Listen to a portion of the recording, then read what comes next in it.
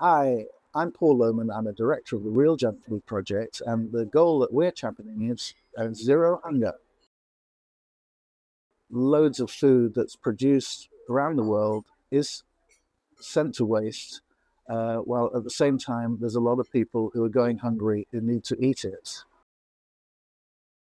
One of the worst things about food waste is that a lot of it is sent to landfill. It's dug into the ground. So it's a terrible waste of food because food that uh, could have been eaten uh, is not being used, despite all the costs and the uh, labor and, uh, uh, that, and energy that's gone into producing it. Well, what we do in the Real Junk Food Project is collect food that would otherwise be wasted. This is mostly from supermarkets, and we actually retake it to cafes where we then cook it up to feed people. And we do this on a donation basis, which means that people who can't afford to eat a meal can still benefit from a healthy and nutritious meal at very low cost. I think our biggest hero is a chap called Adam Smith, who actually started the Real Junk Food Project.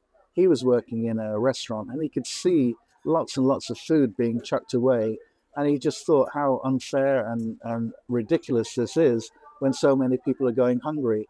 So he actually started the project and he coined the phrase feed bellies, not bins, which really sums up what we're all about.